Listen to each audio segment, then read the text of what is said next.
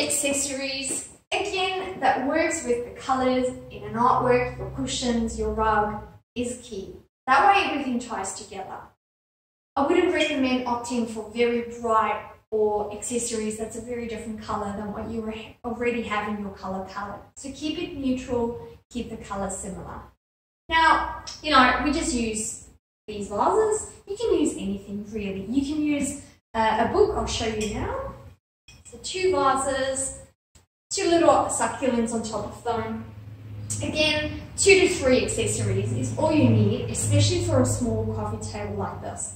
Do not clutter the coffee table. You still want to show that it's big enough to place coffee, you know, to actually drink something and chill. Books are amazing for coffee tables.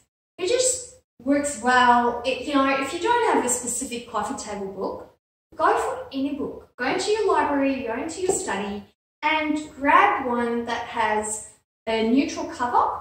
If you, you know, taking off the cover, so as you can see, this is a hard copy book. We just took the cover off and it's just plain and it looks beautiful on photos. And you basically just place it. All right, and then you can just put another accessory on top of it. And that's all you need.